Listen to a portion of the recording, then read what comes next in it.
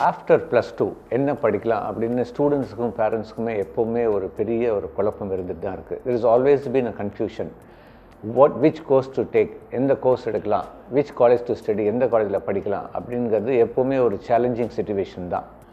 எப்போவுமே ஒரு கெரியரை எப்படி சூஸ் பண்ணணும் ஒரு கெரியரை எப்படி choose how to choose a career அப்படின்னா நான் எப்போவுமே சொல்லுவேன் you should choose a career looking at the future and opportunities and growth அப்படி நம்ம தமிழில் சொல்லணும் அப்படின்னா ஒரு கெரியரை எப்படி சூஸ் பண்ணணும் எதில் வாய்ப்புகள் எதில் வளர்ச்சி அதை பேஸ் பண்ணி தான் ஒரு கெரியரை சூஸ் பண்ணணும். நான் எப்பவுமே சொல்லுவேன் எனக்கு இன்ட்ரெஸ்ட் இருக்குது அதில் வாய்ப்பில்லைன்னு வச்சுட்டு என்ன பண்ண முடியும்?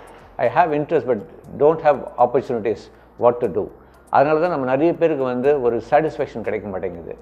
எப்போவுமே சொல்லுவாங்க ஜேபி சார் சொல்கிறது நடக்கும் அப்படின்னு.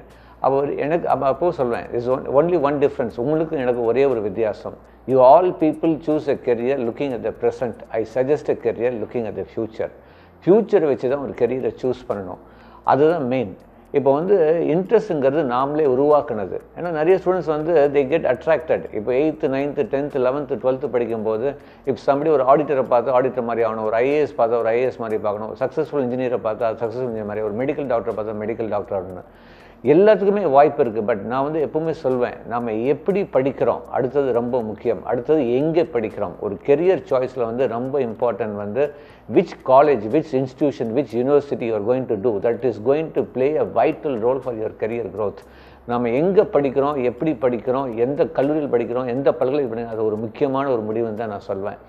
ஸோ ஸ்டூடெண்ட்ஸ் வந்து கண்டிப்பாக வந்து ஃபஸ்ட்டு வந்து they should give importance to an institution அதுக்கப்புறம் கோர்ஸுக்கு ஏன்னா இன்றைக்கி வந்து ஒரு கம்பெனி வந்து காலேஜோ யூனிவர்சிட்டி தேடி தான் வருது ஒழிய கோர்ஸை தேடி வந்த சரித்திரம் கிடையாது.